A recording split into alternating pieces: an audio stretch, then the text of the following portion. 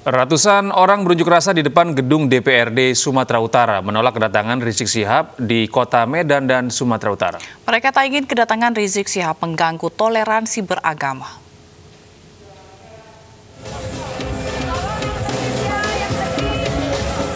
Ratusan orang berunjuk rasa di depan gedung DPRD Sumatera Utara. Masa yang tergabung dalam Forum Bhinneka Tunggal Ika Sumatera Utara menyampaikan aspirasi menolak kedatangan Rizik Syihab di kota Medan.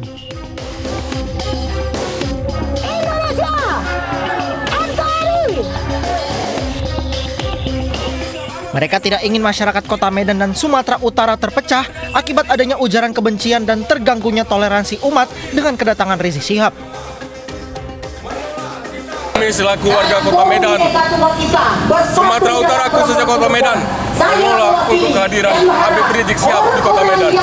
Kekondisipan kehidupan keanekaragaman agama, budaya, dan bangsa yang sudah terjaga selama ini. Kami tidak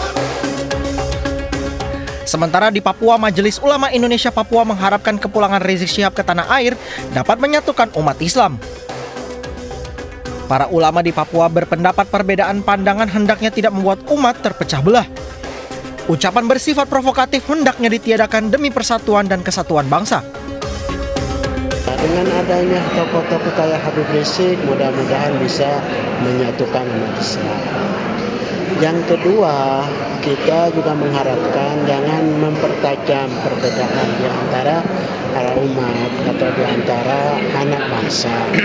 Ya, kita harus sudah cukupkan sampai di sini kalau memang ada perbedaan politik, ada perbedaan apa, kita sudah selesai.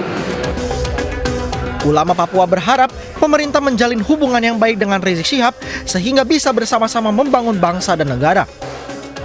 Tim Liputan iNews melaporkan.